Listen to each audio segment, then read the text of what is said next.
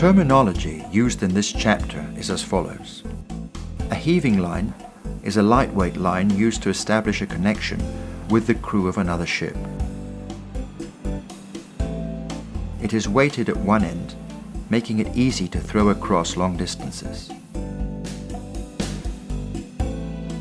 A messenger line is heavier than a heaving line and is here used to haul a heavy mooring line. The headline is the mooring line which passes through the bullnose at the very tip of the bow. The spring lines are further mooring lines astern of the headline.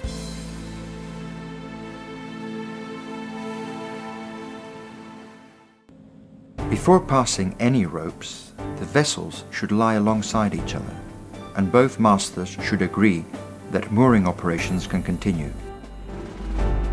With all crew ready and standing by, a heaving line attached to the messenger for the first spring line is transferred from the seismic ship to the supply vessel.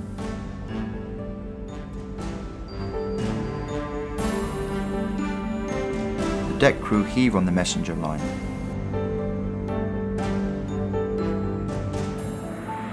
The seismic vessel gives slack on the spring line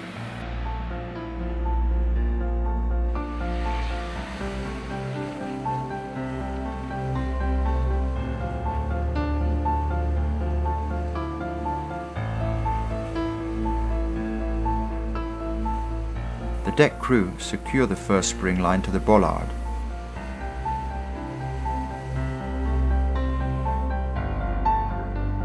Transfer the messenger line for the second spring line.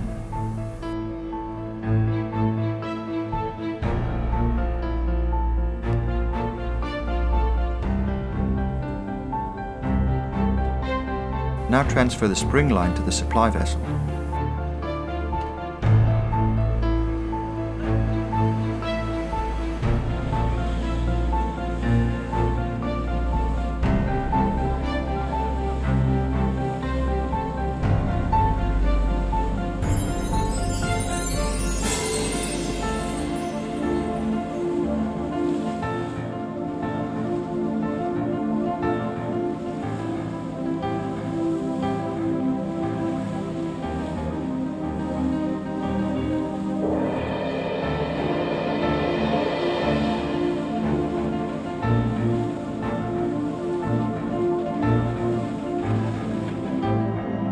Excess slack is taken out of the spring line